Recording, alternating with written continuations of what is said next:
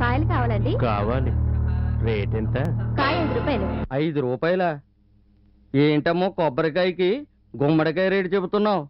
ఇచ్చే రేటు చెప్పు. ఐదుకి తక్కువైతే గిట్టుబాటు కాదన్నా. మంచి కాయలు ముదురు కాయలు. కాయ చూస్తే బాగానే ఉంది. కానీ పగలగొట్టి చూస్తే కదా తెలిసేది. మంచిదో చెడ్డదో. ఓ పని చేద్దాం. ముందు కొబ్బరికాయ పగలగొట్టి చూస్తాను. కొబ్బరి బాగుంటే అన్నీ కొంటాను. నాతో పరాచకాలు ఎందుకన్నా? గుడి ముందు వ్యాపారం చేసుకున్న వేళ. వ్యాపారం తొందరగా ముగిద్దామనే నేననేది. గుడికొచ్చి బూతులు మాట్లాడడం తప్పన్నా? అయితే ఇంకెప్పుడు నీతో బూతులు మాట్లాడ మానేస్తాను గాని నువ్వు నాతో వచ్చేయి. అన్నా అని సెంటిమెంట్ వద్దు. మూడు మారిపోద్ది. మావా అని పిలువు మజాగుంటది. అమ్మా కాపాడు తల్లి! నువ్వు అమ్మోరే ఉన్న సినిమాలో ఉన్న రమ్యకృష్ణ అనుకున్నావా? నువ్వు పిలవగానే టంగున ప్రత్యక్షం అవటానికి? నువ్వు ఎంత అరిచినా ఇక్కడ నన్ను కాదని ఎవరు నిన్ను కాపాడడానికి రారు లేరు.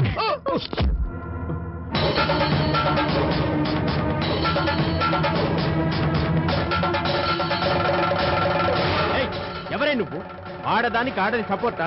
ఆల్ ఆడదానివి నువ్వేం చేయగలవు? అధర్మంలోని ఆ అనే అక్షరాన్ని తీసేసి ఇవాళ ధర్మాన్ని నిలబెట్టేది ఈ ఆడదేరా. ఏయ్! శత్రువుల్ని గడగడలాడించిన రాణి రుద్రమదేవి ఆడదే నీలాంటి నీచుణ్ణి కన్నది ఆడదేరా.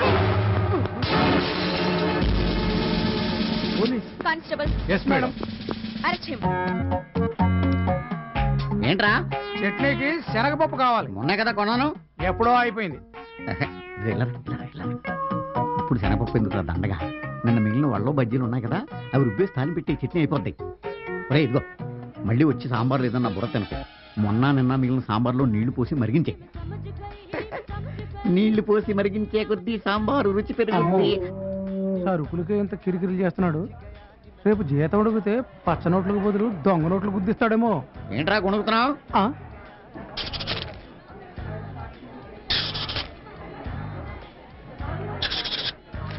ఏంటి కిచకిచల సౌండ్? మన నెలవ సరుకుల గురించి ఎలకలకప్పుడే ఇంటర్నెట్లో ఇన్ఫర్మేషన్ అందిందంటావా?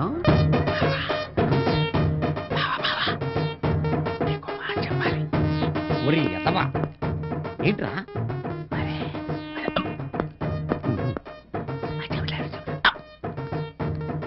చెప్పు చెప్పు.